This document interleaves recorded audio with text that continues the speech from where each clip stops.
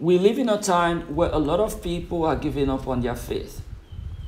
But the faith that is worthy of preaching, but is not worthy of dying for, should not be preached at the first place.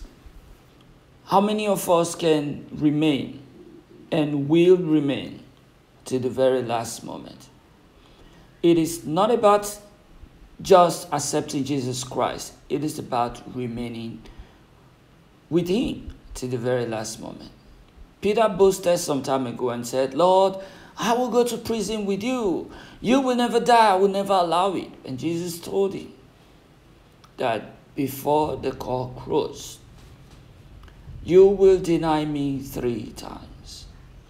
This is not about strength. This is not about human power.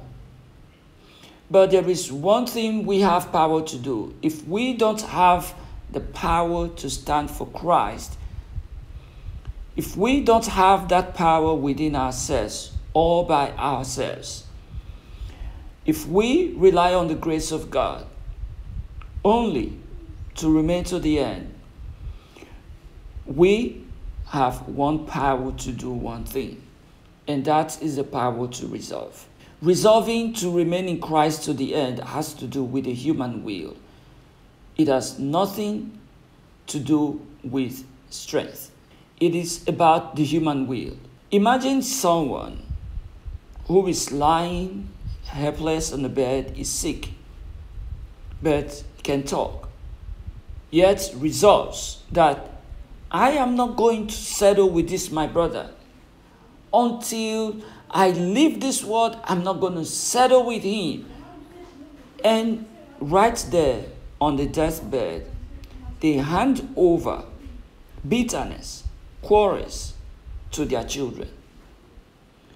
And give their final word to their children that, you see this, my brother, see that family, have nothing to do with them. It's about the human will. This is someone that is dying. This is someone that has no power to jump up. They have no power to fight. But they have the power and the resolution, the power to retain and sustain what they have resolved, never to settle with someone, even while on their deathbed. The same way, the power to resolve, to remain to the end, lies in your head. It's not about having physical strength or being a spiritual giant first. No.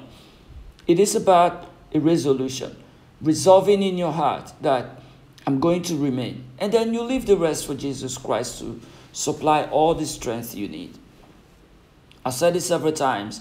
I gave my life to Christ at the weakest moment of my life when I, at the time that I had to reconcile myself back to God again, it was the very weakest moment of my life.